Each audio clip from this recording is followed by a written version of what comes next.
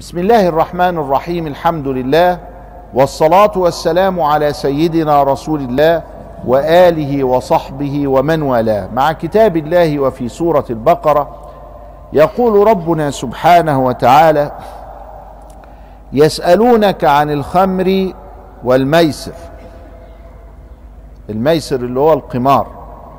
وادي ده سؤال من يمكن 13 سؤال الصحابة سألت فيها سيدنا رسول الله.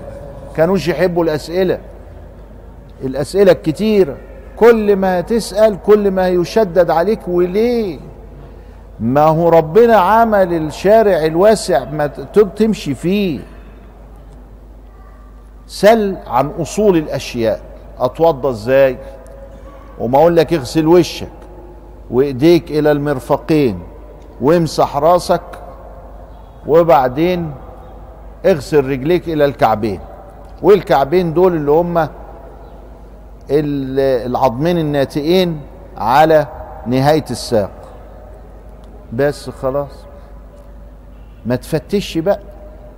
هتتنقل من كده وتفتش. هندخل في تفاصيل موجودة. الله. طب والوجه ده فين بقى؟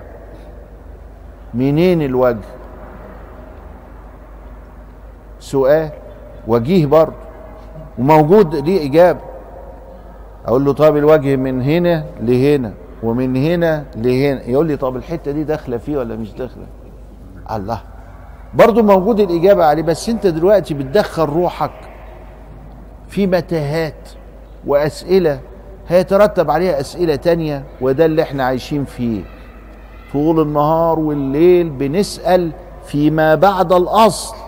ده الأصل خفيف خالص. اغسل وشك. اغسل إيديك للمرفقين والمرفقين هم. قوم يقول لي طب يعني لو خدت شوية كده فوق المرفقين ينفع برضو؟ أقول له آه ينفع. يعني أحسن ولا مش أحسن؟ لا أحسن. الله. طب ولو خليته لغاية الابط كده يبقى أحسن وأحسن وهندخل في وسواس. هنتحول من ال ال ال الأصل وندخل في الوسواس. ما تخليها سهلة كده. خليها سهلة الله يكرمك يقول له أنت ما أنتش عايزني أتعلم. يا عم العلم دي قضية تانية. بنروح الأزهر ونمسك الكتاب بقى. اللي هو المتن. ونقول بقى والحاشية اللي على المتن منين وأنهي ومن ابتداء الوش منين وانتهاء عرفنا كل حاجة. بس ده ده ده زيادة شوية. يقول لي يعني الأزهر غلطان؟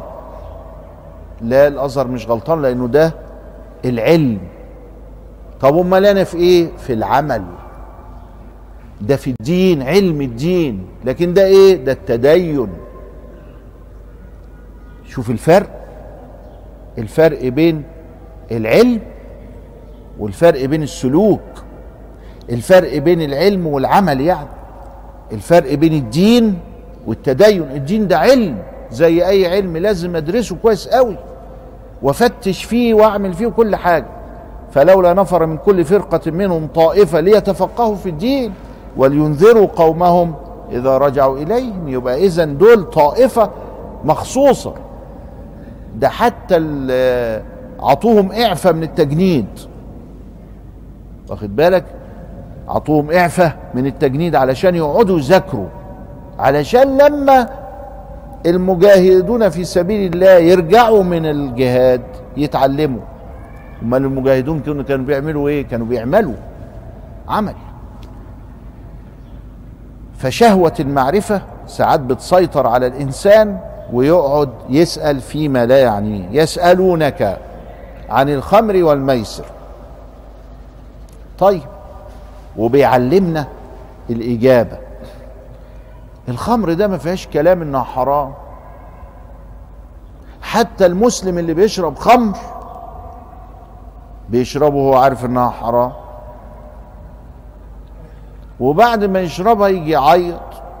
أو يجي مثلا يوم الجمعة يحضر الخطبة ويسمع الشيخ وهو بيقول له ده الخمر حرام قوم يقول خلاص تبنا إلى الله. يوم السبت يشربها. تاني إنما هو عارف إنها حرام. اذا ففي حاجة في فرق ما بين الحكم الشرعي وبين التنفيذ بتاعه.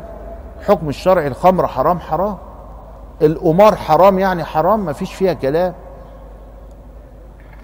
ماذا ينتج عن هذا؟ ينتج إن الإنسان إذا وقع فيها وجب عليه التوبة وجب عليه الرجوع. هل يكفر الإنسان بفعل المعصية؟ لا ما يكفرش. ما يكفرش بفعل المعصية.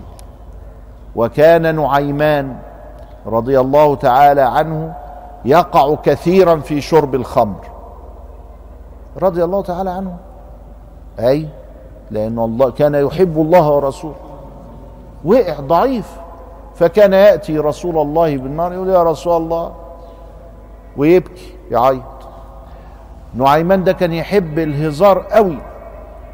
وكان تملي يعمل مقالب في الصحابة. وفي سيدنا رسول الله. وسيدنا رسول الله يضحك.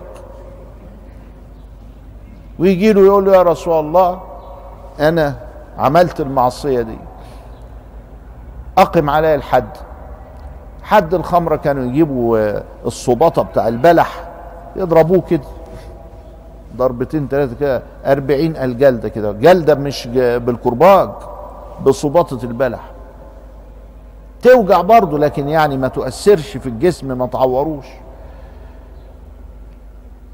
اتكررت الحكاية دي فسيدنا عمر كان في شدة في دينه قوة. كان طوله 3 متر. سيدنا عمر.